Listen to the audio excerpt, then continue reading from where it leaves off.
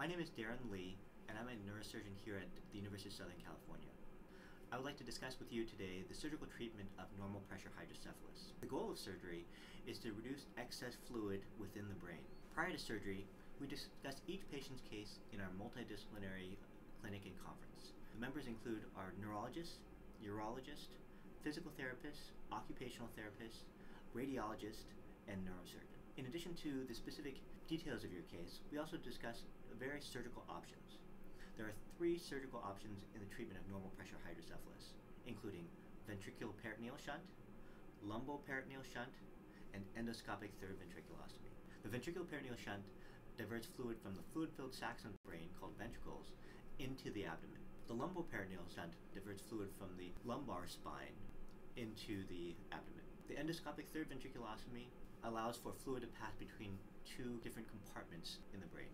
The endoscopic third ventriculostomy allows for fluid to pass between two cerebrospinal fluid compartments within the brain.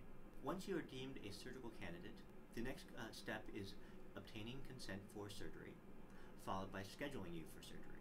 Prior to surgery, each patient needs to have medical clearance as well as to obtain preoperative labs. On the day of surgery, you'll meet our entire team in the Keck Hospital. Your team includes a anesthesiologist, the operating room nurse, the surgical tech, as well as your neurosurgeon. Upon entering the operating room, you would then be put to sleep. You would additionally be given preoperative antibiotics to prevent for infection. Once uh, asleep, then the uh, surgical procedure begins. For the ventricular peritoneal shunt, three incisions are made, one on top of the head, one behind the ear, and one in the abdomen. You're given uh, local anesthetic into each of these incisions to prevent or reduce pain.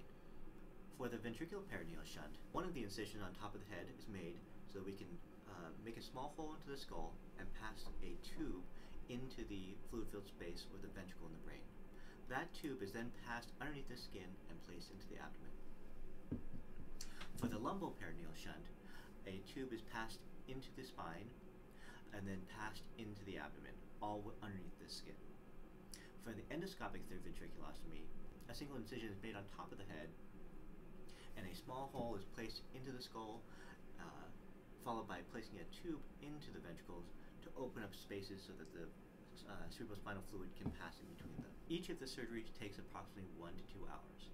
At the end of surgery, you would then proceed to the recovery room, where you'd spend an additional one to three hours until uh, deemed appropriate to transfer to the hospital floor. Once on the hospital floor, you're there for approximately one to two days. During your hospital stay, we will ensure that pain is under control prior to discharge from the hospital. During the immediate post-op period, you should expect some discomfort around the incisions. However, those that pain and discomfort will uh, subside. While the ventricular peritoneal shunt is a tube that passes from the brain into the abdomen, there are a couple of unique uh, details that we need to discuss prior to surgery.